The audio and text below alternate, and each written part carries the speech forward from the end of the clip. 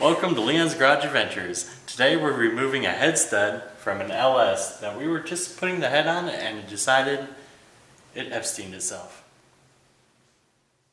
So we're going to be using a couple different tools. We just went and picked up some left-hand drill bits from Harbor Freight, $8, extendo magnet, and the only small broken extractor that I have. Where might somebody find a non-broken extractor? Oh, I think I got those from Harbor Freight too. Top quality. Actually, it worked really good though, so I can't complain. All right, let's get started. So what we have here is an engine with a broke off stud. And the rest of it's down there. These head studs are really hard. We're gonna try to start with the smallest one first, that we can get down in there with, make a little pilot hole, and then work our way up. Wish me luck. The reason we're using a left hand drill bit is so that hopefully the drill bit catches it and walks it back out instead of shoving it down further. So, yeah. Oh, hey, make sure I don't hit this by the way. I've been watching you drill into it. Thanks, buddy. Sorry. It's like, well, he's the professional. I'm not a professional. I'm an amateur YouTube guy that doesn't make any money. Okay, I ain't gonna lie. It's cutting it pretty good. Hmm. But I'm trying to be careful, so I'm going super s- slow with it.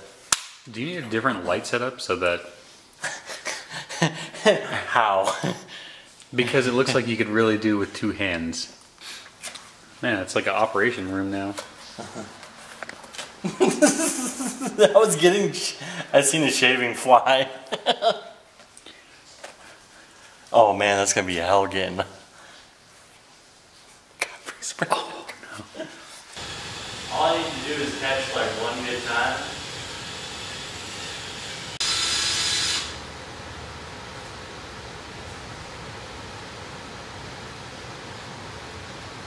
Using a small magnet to remove a bunch of the shavings that have come off of the end of the stud. Now going up to a larger drill bit size. We're hoping that it just grabs it and wants to back itself out. Uh, very impressed. You're cutting really good. If they didn't cut so good, they'd grab it and pull that thing out. You're in line. Hey, come look at the shavings from that, just that one time. Yeah. Yeah, that's just from that one little time drilling.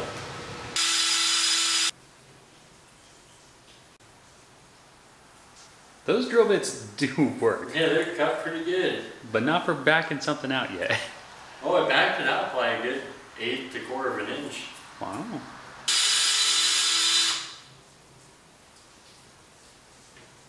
It's insane to me that if we weren't trying to do this, it would do it on accident.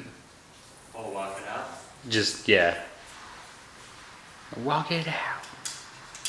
Let me see if I have an easy out. I have a broken one. And that's the one you're gonna use.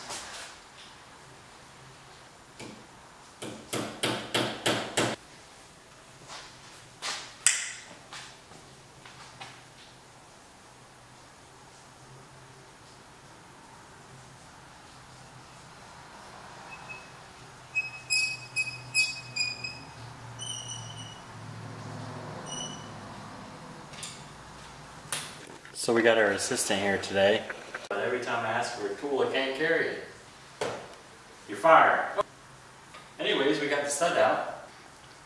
Not using the Harbor Freight. Uh, no, it did. It did pretty good, actually. Let's take this thing off so we can show the... Show the people what they came here for. Yeah, let's show them... Let, let's show them peoples.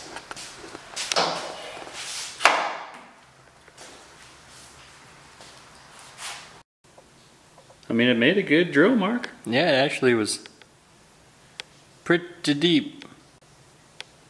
That's what she said. Yeah, so those are, these were eight dollars for all these. The little one was flexing a little bit, so we moved up to the next size, so you know to be cautious. But it drilled a hole nice, and then we uh, it was walking it out the way that it was, but uh, I just decided to go get it broken easy out. I only had a broken one, leave me alone. So that's how you get a broken head stud out. Am I in the camera? Ah.